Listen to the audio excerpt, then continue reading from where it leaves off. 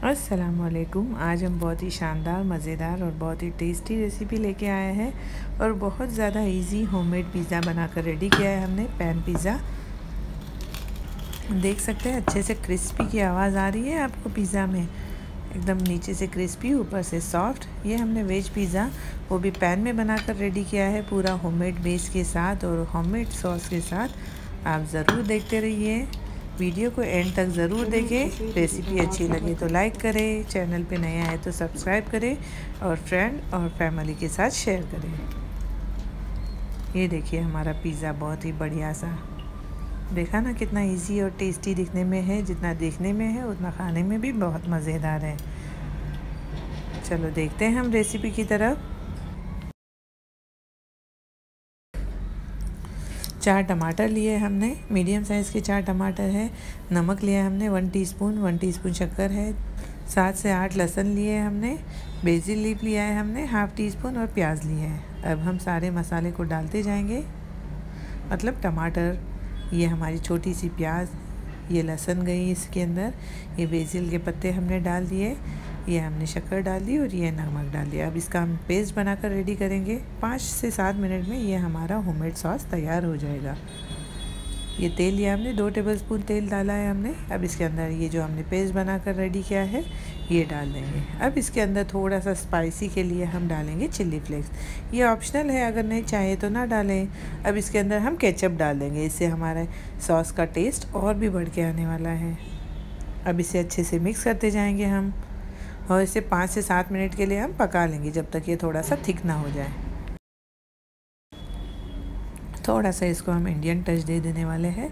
थोड़ी सी हम डालेंगे इसमें कश्मीरी रेड चिली पाउडर इससे कलर अच्छा आएगा ना इसमें। और थोड़ा सा तीखा भी रहेगा। इसे अच्छे से मिक्स कर लेते हैं और इसका प्रोसेस होने देते हैं। इसको पकने के लिए छोड़ देते हैं हम।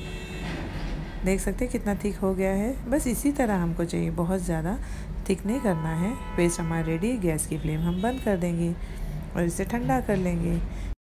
ये हमारा होममेड पिज़्ज़ा सॉस बिल्कुल रेडी है। अब इसे हम साइड में रखेंगे और आटा ले लेंगे।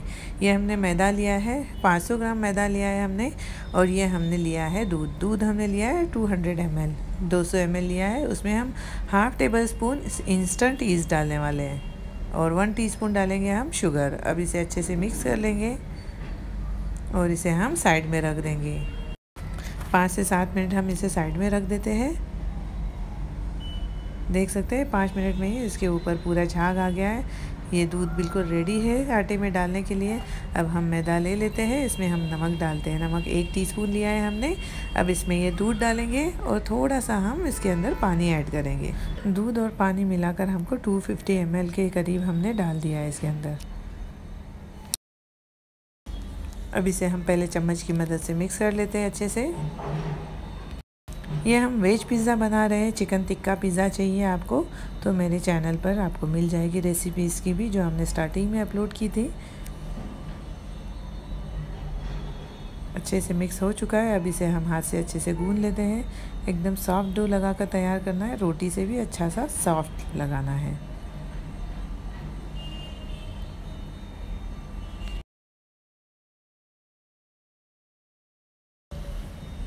थोड़ा सा पानी हम डाल देते हैं और इसे अच्छे से गूंद लेते हैं हम।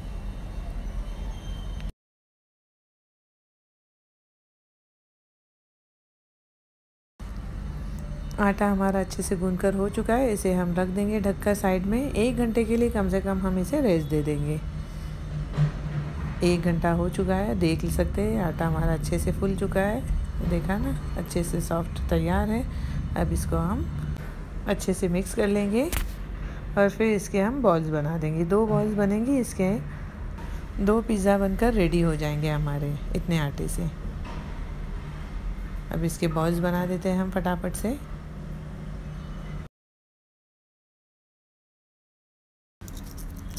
देख सकते हैं इस साइज़ के हमने दो बॉल्स बनाकर रेडी कर लिए हैं। अब रख देंगे दोनों को। अब एक पैन लेंगे हम। आपके घर में जितना साइज़ का पैन है, उस साइज़ के हिसाब से आप बॉल्स बनाकर रेडी कर सकते हैं। इसको हम तेल से हल्का सा ग्रीस कर लेते हैं, ताकि जब हम आटा इसमें फैलाएँ ना तो इसमें चिपके नहीं।